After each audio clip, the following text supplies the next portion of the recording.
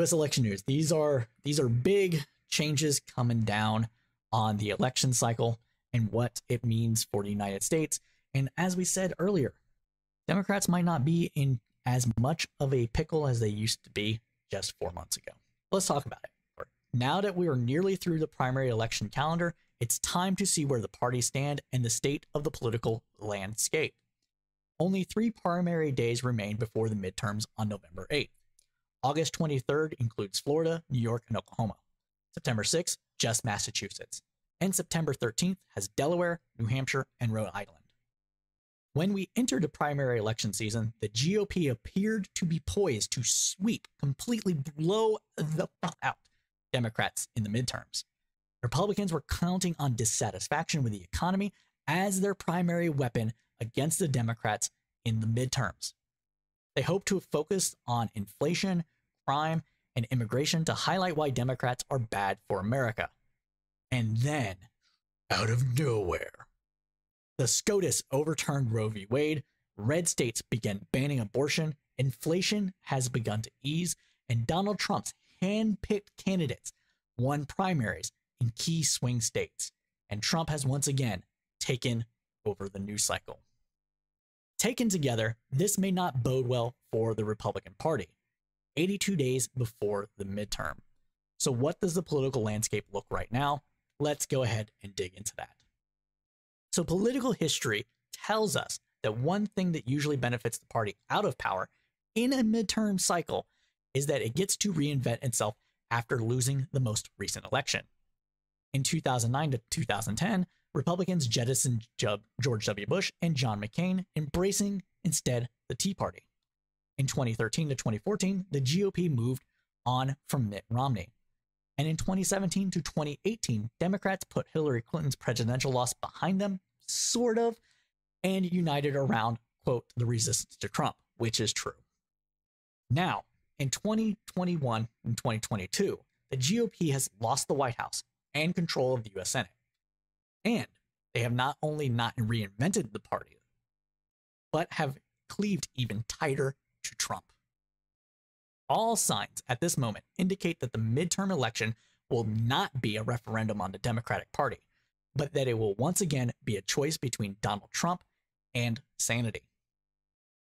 The GOP has continued to embrace the former president, even as January 6 committee investigations reveals his blatant attempts to overturn the 2020 election, and in the wake of the DOJ investigation into possible, possible, possible violations of the Espionage Act. New headlines seem to appear in every news cycle, and nearly all are bad news for Trump's future. Just today, longtime Trump Organization CFO Allen Weisselberg pled guilty in federal court and agreed to testify against, yes, testify against Birdie singing, singing the Trump organization when it comes to the trial this October.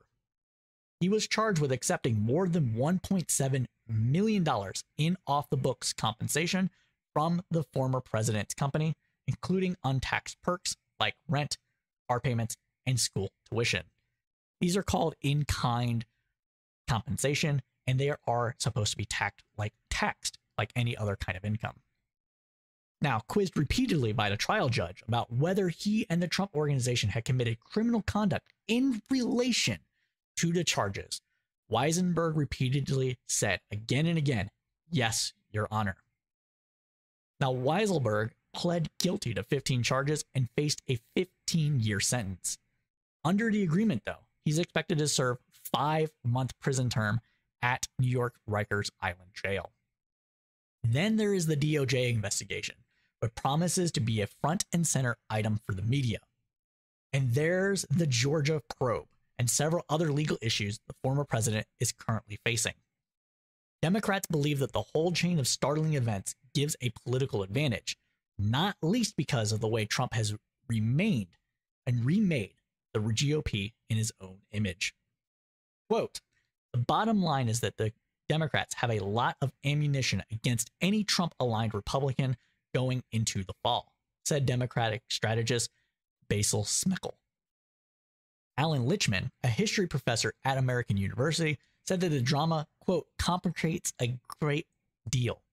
for Republicans now and in November. Quote, this is the following is a list of a whole quote from him. This looked like a good election for Republicans.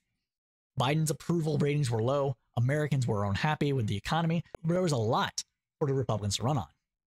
And the worst case for them is not to be running on any of those things, but instead be running on Trump grievances.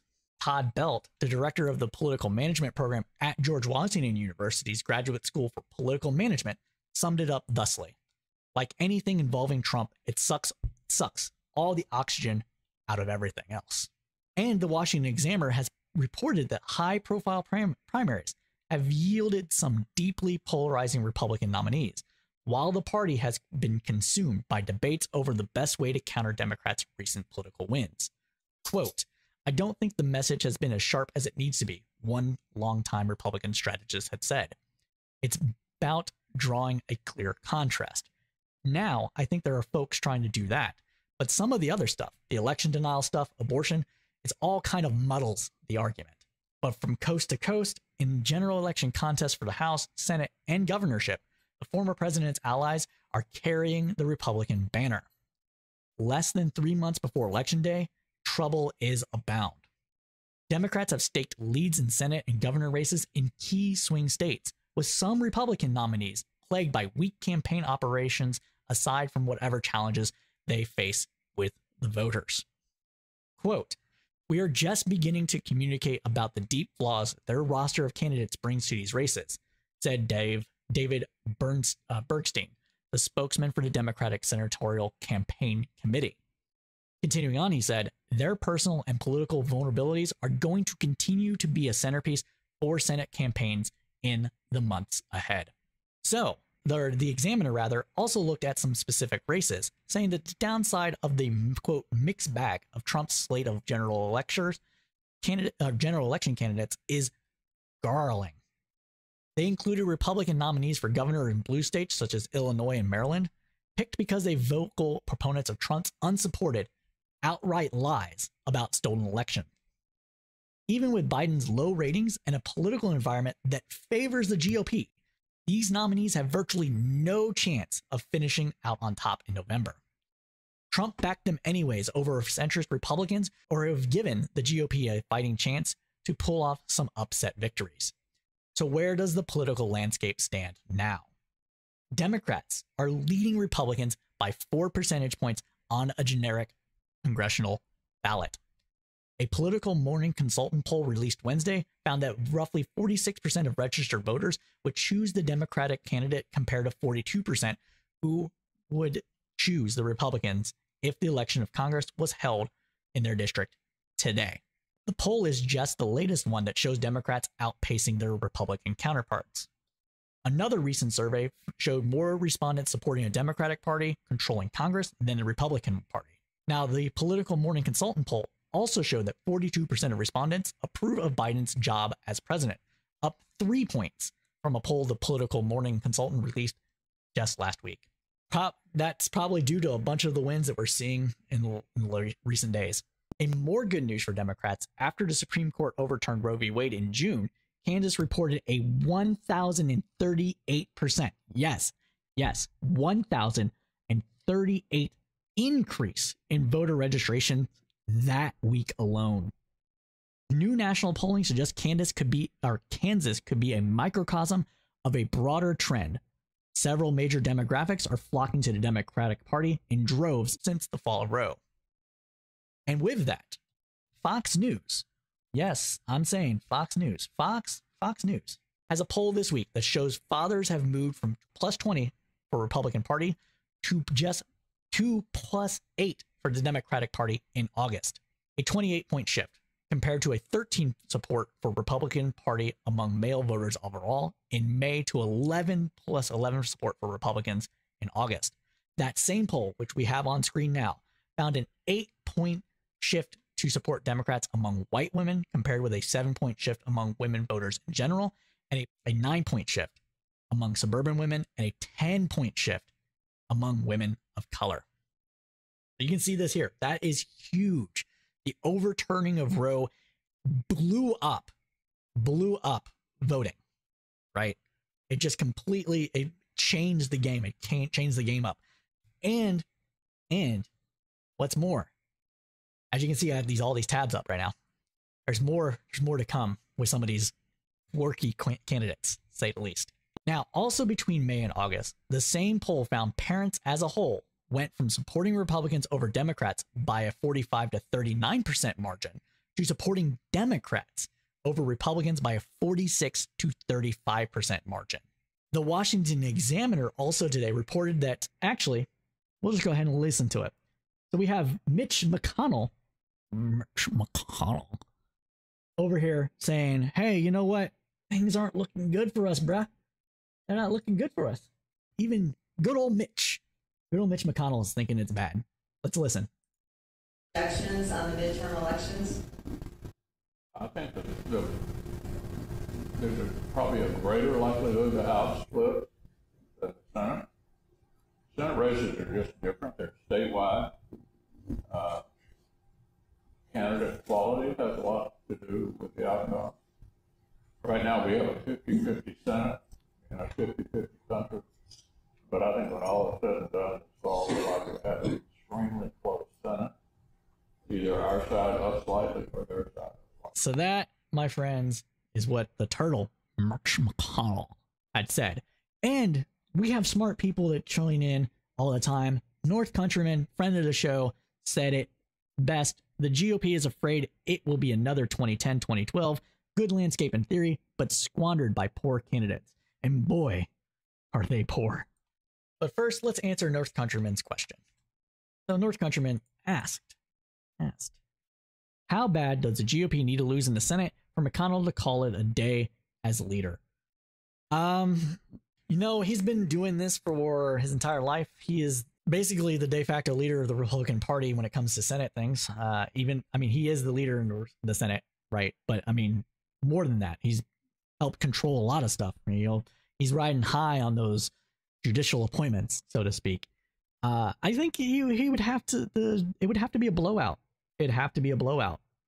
Like Democrats would have to have a supermajority again. Um, and he would, and I don't know if he would, uh, he would quit. I think he would quit because uh, even he can't wrangle a caucus that would be that crazy at that point. Uh, that's just my thinking, though. Just my thinking. But let's get into some of these bad candidates, like I said. And they're so bad. Oh, they're so bad. They're so bad. It's so funny. It's sad. It's very, very sad. Very sad that uh, they're this bad because roughly half the country thinks that this is great. Dr. Oz, man of the people, everybody. Let's watch. I do some grocery shopping. I'm at Wegner's, and uh, my wife wants some vegetables for crudite, right? So here's the broccoli. That's two bucks. Well, Look how big that broccoli is, bro. There's some asparagus. That's, That's a lot of asparagus, man. Yep. Carrots. That's four more dollars. That's ten dollars of vegetables there, and then we need some guacamole. That's four dollars more. And she loves salsa. Yeah, salsa there. Six dollars. Must be a shortage of salsa. Guys, that's twenty dollars for crudite, and this doesn't include the tequila. I mean, that's outrageous. We got Joe Biden to thank for this. Oh man. Just... Okay, so that's cringe. But why is it cringe? Well, it's cringe because one, who the fuck puts guacamole and salsa in a crudite? Two, what the fuck is a crudite? I know what a crudite is. I'm not saying that other people don't, but most people, most people call that a veggie tray, and we eat it with ranch. Okay. And the things that he picked up, that bag of carrots was hell of big. That was probably like a two pound bag of carrots, maybe even three. It was a huge bag of carrots. So that's actually probably a pretty good deal. And uh, yeah, guacamole and asparagus is always pretty expensive because it's one of those, it's a seasonal thing and you're getting it from around the world. And to show you how easy it is to troll the Dr. Oz, we're going to turn over now to my boy, John Fetterman, with the veggie tray. Veggie tray, and he's like, crudite, am I right, guys? And he's blowing up on social media with this post. This is such a good, easy, easy, easy win for him super, super easy. And he's already selling stickers. He made $68,000. Yes, $68,000 selling stickers, making fun of Dr. Dr. Oz on this, making fun of his crudité comment. $68,000 on that alone. So that's just one thing. Now we have another one over here. We're to go to JD Vance over here. All right. JD Vance, famed author of Hillbilly Elegy, book written to to make the uh the loins lust over at the New York Times and making fun of now who's trying to court. Yes, yes, yes. Hillbilly Elegy was making fun of the exact people that he's trying to court right now. And he's trying to turn himself into an everyman when he was like a George Bushian Republican at some point. I don't know. When you when you're a craven political operative and you know, all you think about is power, you're gonna do some fucked up things. And this is one of those. Let's listen to this. Now, this is a clip from I want to say 2021, 2021, 2021 speech he gave uh, that went viral at the time. It's going viral again because Tim Ryan, Democratic challenger to uh, not challenger, Democratic nominee for Senate in Ohio, going up J- JD Vance, decided it would be uh, be good to bring it back up, and it is good to bring it back up. Let's listen. This is one of the great tricks that I think the sexual revolution pulled on the American populace, which is this idea that like, well, okay, these marriages were fundamentally, you know, they were they were maybe even violent, but certainly they were unhappy, and so getting rid of them and making it easier for people to shift spouses like they change their underwear, that's going to make people happier in the long term. And maybe it worked out for the moms and dads, though I'm skeptical. But Oh, it God. really didn't work out for the kids of those marriages. We're- we're gonna This is look- we're gonna listen on the American the mm-hmm. populace, which is this idea that like, well, okay, these marriages were fundamentally, you know, they were they were maybe even violent, but certainly So a violent marriage is better for kids than a divorce? Are you kidding me, my guy?